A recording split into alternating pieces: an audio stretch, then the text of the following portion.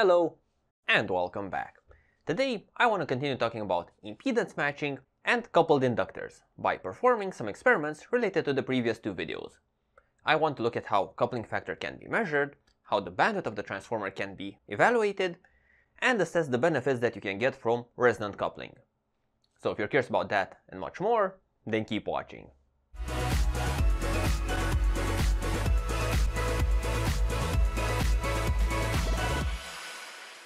So, first off, coupling factor. In an older video, I prepared a set of transformers and I measured them using an inductance meter built into a multimeter. So one way of measuring coupling factor is to see the inductance of the primary when the secondary is in an open circuit, and then short circuit the secondary and remeasure the primary inductance. From these two values, you can determine the K factor based on this equation. Now, the main idea behind this measurement is that when the secondary is in a short circuit, you are basically measuring the equivalent uncoupled inductance of the transformer, since the equivalent coupled inductance is short-circuited on the secondary side. Now, knowing this and the open circuit inductance, you can work out the exact coupling factor. But in practice, there are some extra details that need to be taken into account. Now, there are two problems with this approach that need to be taken into consideration. So first of all, when you're short-circuiting the secondary of the transformer, you don't really have an ideal short circuit. So you still have some equivalent series resistance because of the wires. So this can be in the order of milliohms to ohms depending on the number of turns and wire thickness that you are using. And secondly, the frequency at which you are performing the measurement also has an impact on the result. And to show this, I prepared a set of simulations for this particular transformer that has a 1 to 1 turns ratio, 100 microhenries on both sides, and a coupling factor of 0.5. So if we would have the secondary as an open circuit, we would be measuring 100 microhenries, so this is the primary inductance. If the secondary would be short-circuited, we would have 75 microhenries, and we have the impedance curve of that. But if we look at the actual transformer and see how this behaves, so what is the impedance measured from the primary side when the secondary is short-circuited, we get a strange result. So at low frequencies, so in red, we're seeing the same impedance as for the primary without any secondary, and only at higher frequencies are we actually getting the response of a 75 microhenry inductor. Then in the middle there's this transition period where the impedance moves from one to the other. Now another interesting thing that we can put on our graph is the response of a 1 ohm resistor. So this is the equivalent series resistance that we have. And this is cutting right in the middle of our graph.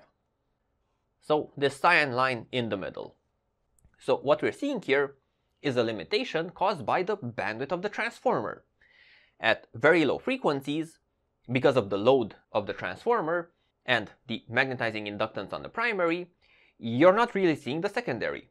So only at high frequencies does the transformer actually work like a transformer and you can actually influence the primary inductance using the secondary short circuit. So this method is very good as long as you can use a high enough frequency to perform an accurate measurement. If your measurement frequency is too low, then you will not be getting good results. Now, another better way of performing this coupling factor measurement is by sweeping an input signal on the primary side and measuring the response on the secondary side. And from this to observe the ratio between input and output signal on the transformer. Knowing the turns ratio, this will both show the coupling factor, but also the bandwidth of the transformer. So where do you actually get the good coupling? So this will require a bit more complex equipment to build in real life, so you will need a variable input signal source.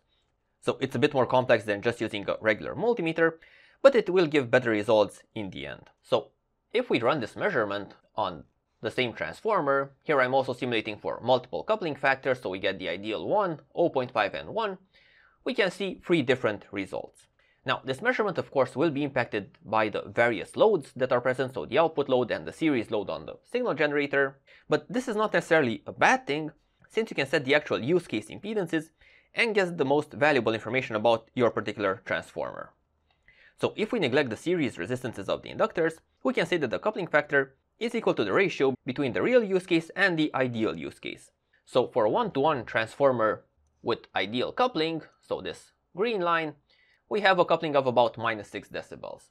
If we move to the 0.5 coupling value, so the red line, so this is for the coupling of 0.5, then we're getting minus 12, so 6 decibels lower than with the ideal case. And if we go to an even lower coupling factor, say 0.1, then we're getting minus 26. So this is 20 decibels lower than the ideal case. And this type of measurement is the one that I will be focusing on today. So for today's experiments, I will be using a signal generator coupled with an oscilloscope that together can sweep an input signal's frequency and then measure two signals and compare them to plot out the amplitude relationship and the phase relationship. So to create a Bode plot. So what I will be doing is injecting an input signal, measuring it with the first channel of the oscilloscope, passing it through a 50 ohm series resistor, so this represents the internal impedance of a signal source, and this is separate from whatever is inside the signal generator. Then the signal passes through this resistor into a 50 ohm load, which again is being measured by the second channel of the oscilloscope. So first, just to verify that the setup is correct and that the resistor values are correct, we can perform a baseline measurement just to see what the response of this setup is. So normally we're expecting a flat minus 6 decibel response and if we perform the measurement and have an actual look, this will take a while of course, I'm measuring between 10 kHz and 10 MHz, so over 3 decades, with 10 measurement points per decade. So I put only these many points to keep the measurement quite fast. And if we now look through the list of actual measured points, we can see that we're not getting exactly minus 6 decibels, it's about minus 5.6 to 5.7, 5.8, so it's not perfect, but it's good enough for our measurements today. Now, this sort of baseline measurement is quite important to be performed, especially if you want to make very precise measurements. So this sort of data should be used as calibration data, to which you compare whatever other measurements you do and this way you can take into account whatever tolerances the various measurement equipment and resistors and so on have. So now let's measure something a bit more interesting. So what I have here is a one-to-one -one transformer that has the coils quite separated one from the other and there is no magnetic core, so this is an air core inductor. And if we rerun our sweep with this setup, we can already see that we're getting a completely different response. Now last time we're nowhere near hitting the minus 6 decibels, but what we are getting is the typical response of a transformer.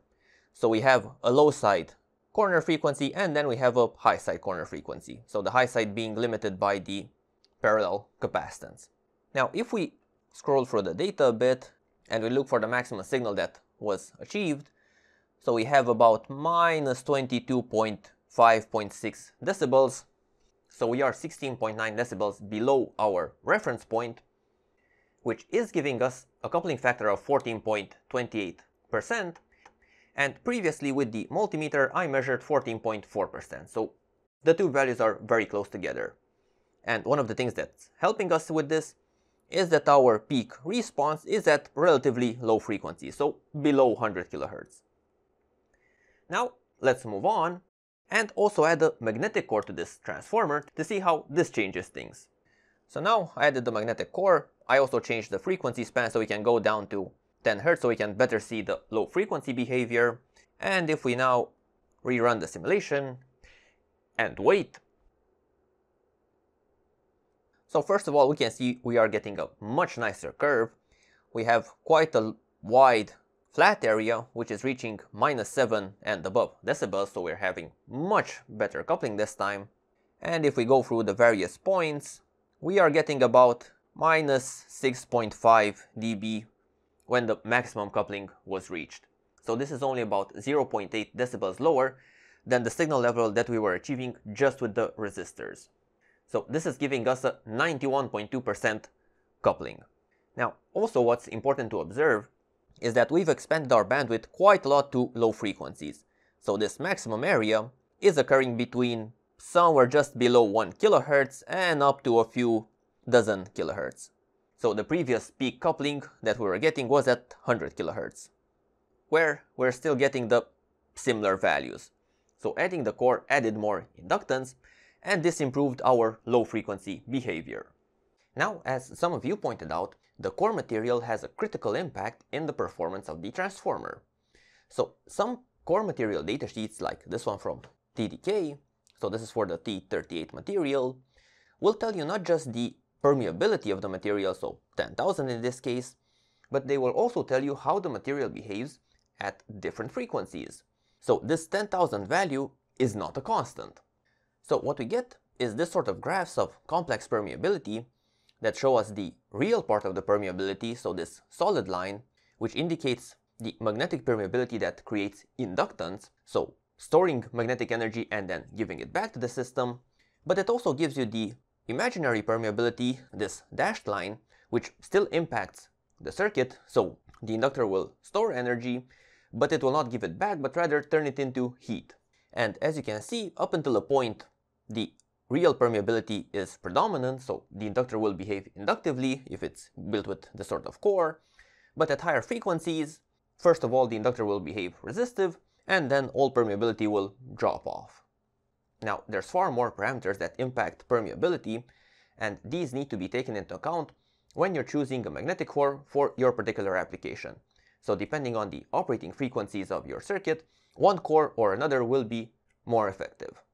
Now, before moving on, I would just like to show you one more transformer. So this is a one-to-one -one transformer that has a bifilar winding technique applied, so the turns are wound at the same time, one next to the other. And previously I measured this using the multimeter and it gave me about 75.8% of coupling. But now if we measure it with our Bode plot setup, and we wait of course for it, we can see that we are getting an extremely good coupling. So if we scroll through it, we are reaching minus 5.9, so very close to ideal coupling, but this is only occurring at very high frequencies. So this is one case in which the transformer actually has very good coupling, but if you're not measuring it at the correct frequency, you're not going to see this coupling. But anyway, let's now also see how this transformer behaves with the magnetic core. So I'm using the exact same core that we used for the previous measurement. And again, if we wait a bit, so we can see this time that again we're getting very good coupling, so in the minus 6 range over a very wide bandwidth, we can see that high frequency behavior was not really affected, so the parallel capacitance of the windings stayed the same. We are getting this resonance spike here, but it's at very high frequency, so that doesn't really matter. But what we can see, again, is that by adding the magnetic core, bandwidth has been expanded quite a lot to the lower frequencies. So this particular transformer has quite a flat response over almost four decades. So it's quite a nice wideband application of transformers. And now let's also try some actual impedance matching so I took the same transformer that we previously measured, the one-to-one -one bifilar wound transformer, but rather than connecting it as a one-to-one -one transformer, I connected the secondary to the primary, and basically what I have is an unisolated 1 to 2 transformer. And for that, I left the 50 ohm series impedance on the input, but I changed the output to a 200 ohm fixed value resistor. So if we had the previous setup, so the one-to-one -one transformer, we should have gotten minus 6 decibels on the output, so half the input signal. But since we have a 1 to 2 turns ratio, the signal amplitude should be double, so double of half should be exactly the same as we started off with. So we should be getting around 0 decibels. So if we run the measurement to see actually what happens, again I'm measuring from 100 Hz up to 10 megahertz, so we can see the bandwidth of the transformer end of the system. So again, we can see a very nice, very flat response. And if we look at the actual values, once it's stable, it's at around minus 71 millidecibels. So we're very close to the zero decibels that we should be getting. So this can be explained by the resistor tolerances and, well, certain losses that still occur in the transformer. But anyway, we are getting our impedance matching. So now, let's move on to resonant coupling. I already started the measurement. So what I have here is a intermediate frequency transformer from an old radio. This was built for 455 kilohertz, but I did remove the capacitors, so right now we're just measuring the transformer by itself. And as loads, I removed the 50 ohm loads that we had previously and went for something a bit larger, so this was not designed for 50 ohms. So I have a 10 kilo ohm resistor load on the output and a 10 kilo ohm series resistor on the input. so both 10 kilo ohms input and output because this is a one-to-one -one transformer. So now if we look at the measurement, I set it from well, 11 kilohertz up to 10 megahertz, and we can see that we're getting a spike at around a few megahertz. So this is where the peak coupling is appearing. And if we are going through the measurement points, we can see that the peak is at around minus 39 decibels. So we are about 33.5 decibels below the minus 6 dB line that would represent an ideal coupling. So without any resonance, we are getting 2% coupling with this transformer. So now, let's see how we can improve on this. And knowing that this was built for 455 kilohertz, and 455 is below this resonance peak, we should be using parallel capacitors. And, well, we can use the old capacitors that this transformer came with, so what I have here is some old 300 picofarad capacitors. So let's add these one at a time and see how this improves things. So I added the 300 picofarad capacitor on the input, and if we wait for the measurement to get performed, so now we can clearly see that there's a resonance peak at around 4500 kilohertz. We can see that it's around minus 49 decibels, but we are not really getting a clear picture. So since this is a quite narrow band circuit, and I'm using 10 points per decade, we aren't getting the full picture yet. So I will reset the device to just look at this narrow portion of frequency, so between 400 and 600 kilohertz, let's say, and then we will reassess. So now I also added far more measurement points so we can see that we are measuring every roughly 3 to 400 hertz. This will give us a measurement with far more resolution. And again, if we wait a bit, so even without waiting for the measurement to finish, we can see we are getting a very clear spike. So we're at minus 43.7 decibels at 456.7 kilohertz. So very close to where this circuit was initially designed to operate. But now we can move on and see how this behaves with double resonance. So if we add the second capacitor also on the output, does this response get any better? So now with double resonance, we can see that our peak response is 447 kHz, so slightly lower. So this just means that the two tuned circuits are not really adjusted correctly. But regardless, we're at minus 27 decibels this time. So we're much better than before. And of course we can get even better if the two resonance circuits are properly tuned. So this is one of the difficulties with using double tuned transformers, and that is that the two sides need to be tuned at exactly the same frequency. Now, even though this transformer was not designed for 50 ohm operation, that doesn't mean we can't measure it and try it out. So I reset the initial setup with the 50 ohm series resistor and the 50 ohm load, and if we rerun the measurement, so starting from 1 kilohertz up to 10 megahertz, just to see where our peak response is appearing, well, it's appearing quite early.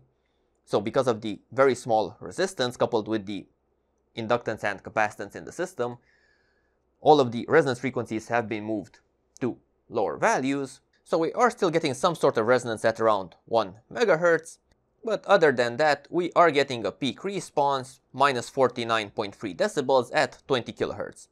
So now if we want to turn this transformer into a 450 kilohertz intermediate frequency transformer again, we can apply the same resonance principle, but since our desired resonance frequency is at higher frequencies than the self-resonance, we now need to add the capacitor in series. So if we try that, if we apply the two capacitors, so I'll be using the same 300 picofarads and we'll directly go to double resonance. So again, we can see that not much signal passes through the circuit, except at the resonance frequency. So we can achieve both series or parallel resonance depending on the loads. And here I've gotten about minus 42 dB of signal, but we can zoom in again and perform a far more accurate measurement. But the point is that depending on where the self-resonance of the transformer is, you will need to add either series or parallel capacitors. In both cases, you can still reach resonance. Now, although this is something that we should have started off with, we can now look at our latest experiments in the circuit simulator, just to confirm the behaviors that we've observed. So to start off, I prepared this model in which I have a transformer, 430 microhenry inductors, coupling factor of 2%, and I'm connecting an AC signal source through an impedance and I'm matching the output with the same impedance, and these two resistors have two values that we will play around with, so 10 kilo ohms and 50 ohms. So if we run the simulation as is, and we look at the results, so you can see that we have two different output curves. So one that's showing a peak response at around 18 kilohertz, so this is with the 50 ohm impedances, and the other one showing a peak response at around 3-4 megahertz, and this is the one with the 10 kilo ohm impedances. So we can see, just like in real life, that the impedance values are influencing the peak responses of the transformers. But regardless, the exact peak response is dependent on the coupling factor. It's just that with the load, you can move it left or right a bit. Now we can see how adding capacitors is influencing us. So adding a single parallel capacitor will give us a peak response in the case where we have the 10 kilo ohm impedance. And on the other curve, so the blue one, where we have 50 ohms, nothing really happens. So this is because the self-resonance of the transformer is at lower frequencies than the resonance frequency that we're creating. Following up on this, if we add double resonance, so two capacitors, we can see an even stronger response. So again, this is with the 10 kilo ohm impedance, with the 50 ohms, nothing happens. And finally, if we look at the two series capacitors, again we see a resonance frequency, but if we check it out, this is the curve in which we had the 50 ohm impedance. So with low impedances, the capacitor topology needed to create resonance is the series one. Having high impedances gives us this cyan curve which does not show any resonances. In the end, using transformers as isolated or non-isolated, narrow or wideband impedance matching circuits is quite an important use case for this type of component. Now, at the same time, knowing the exact coupling factor is not just necessary in radio frequency circuits, but also in any other application where a transformer is needed, like in power converters. Once the exact parameters of the transformer are known, you can first check the behavior of your circuit in the circuit simulator, and then move on to the real life thing. And as always, even if the two don't perfectly match, at least the simulator will make it easier to try out different ideas and get a sense of what's going on. And with that said, hope you got some useful information after this. Leave your thoughts in the comments, thank you for watching, make sure to subscribe to be up to date with all my videos, and see you next time. Bye bye.